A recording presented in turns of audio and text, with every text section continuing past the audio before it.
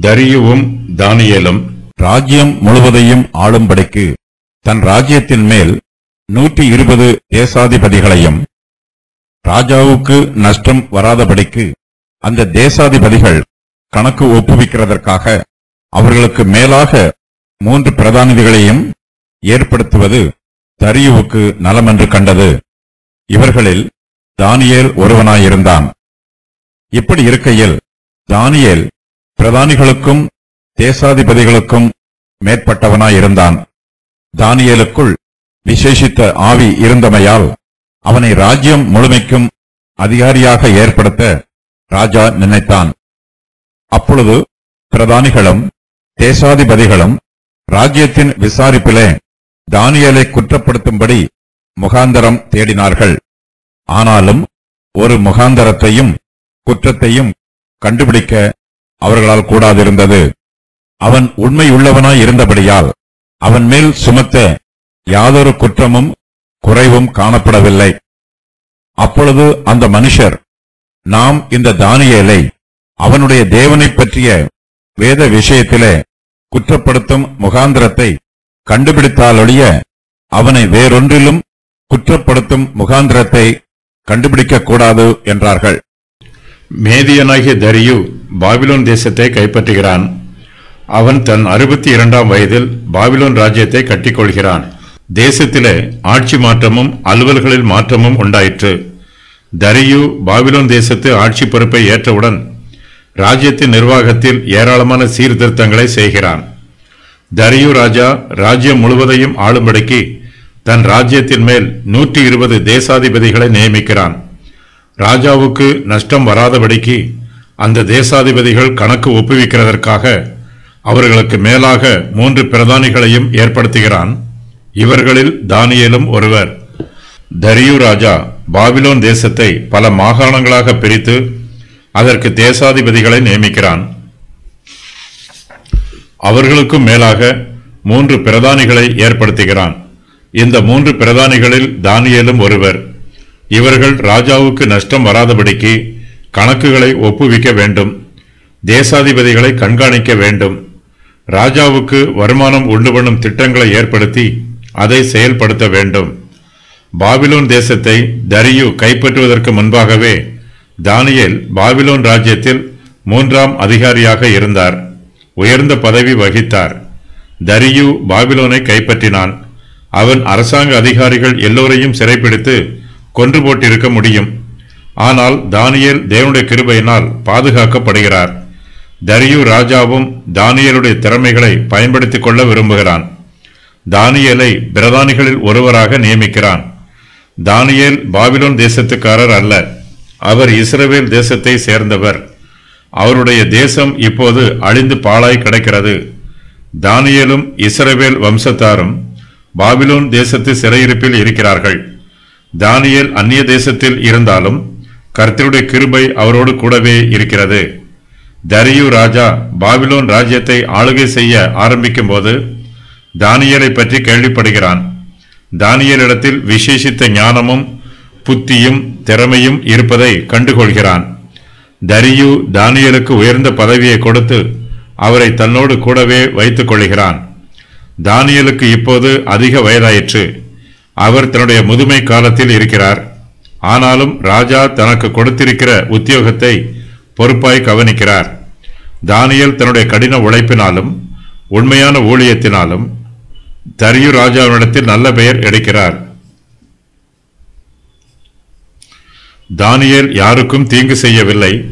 அவர் கர்த்தருக்கு உண்மை உள்ளவராயும் மனுஷருக்கு நல்லவராயும் இருக்கிறார். தானியேல் பிரதானிகளுக்கும் தேசாதிபதிகளுக்கும் மேற்பட்டவராய் இருக்கிறார். தானியலுக்குள் விசேஷித்த ஆவி இருக்கிறது. ஆகையினால் தரியு அவரை ராஜ்யம் முழுமைக்கும் அதிகாரியாக ஏற்படுத்த நினைக்கிறான். பாபிலோன் தேசத்தில் நூற்றி இருபது தேசாதிபதிகள் இருக்கிறார்கள்.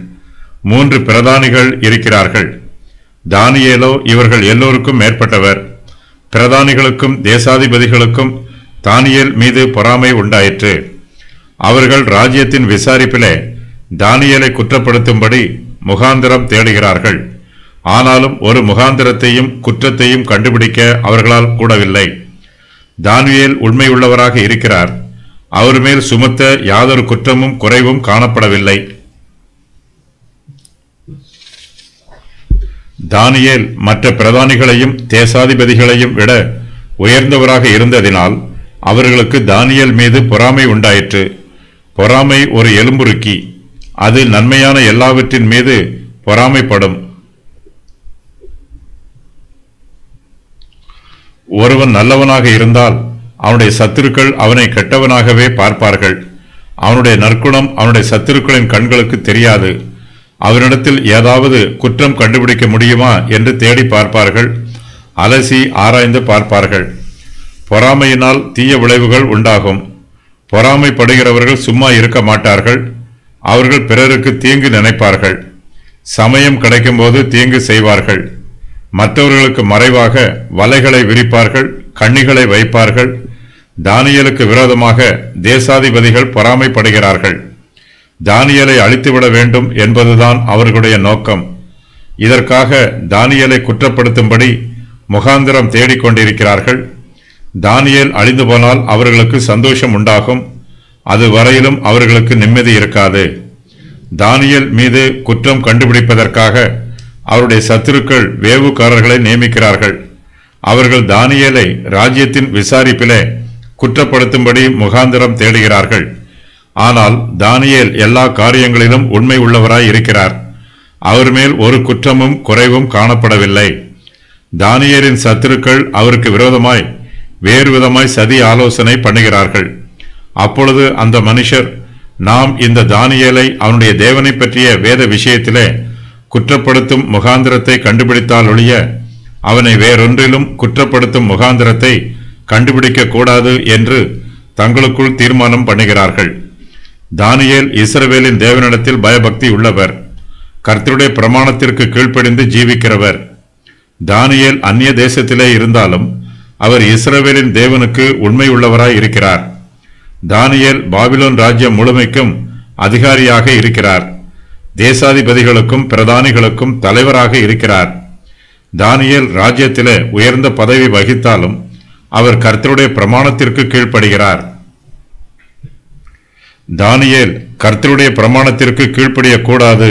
அப்போதுதான் ராஜ்யத்தில் உயர் பதவி வகிக்க முடியும் என்னும் கட்டுப்பாடு எதுவும் இல்லை. தானியலுக்கு யூத மார்க்கத்து காரியங்களில் அவருக்கு இதுவரையிலும் தடை எதுவும் வந்ததில்லை.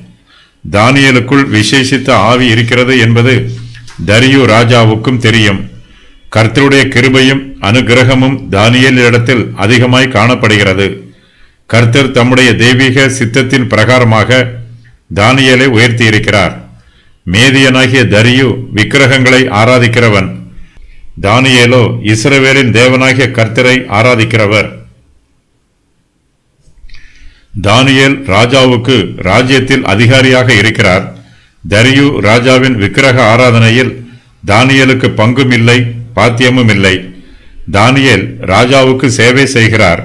ஆனாலும் ராஜா விக்கிரகத்தை ஆராதிக்கும் போது தானியேல் அவரோடு கூட அவருடைய விக்கிரகத்தை ஆராதிக்க மாட்டார். தானியலுடைய தேவனை பற்றிய வேத விஷயம் பாபிலோன் தேசத்து பிரதானிகளுக்கும் தேசாதிபதிகளுக்கும் தெரிந்திருக்கிறது. அவர்களால் ராஜ்யத்தின் விசாரிப்பிலே தானியலை குற்றப்படுத்த முடியவில்லை.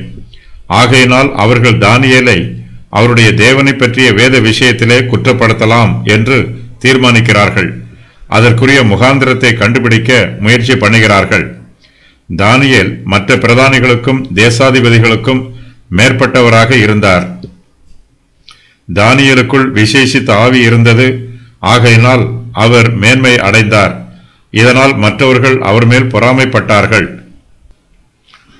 சத்துருக்களால் தானியேலிடத்தில் எந்த குற்றத்தையும் காண முடியவில்லை.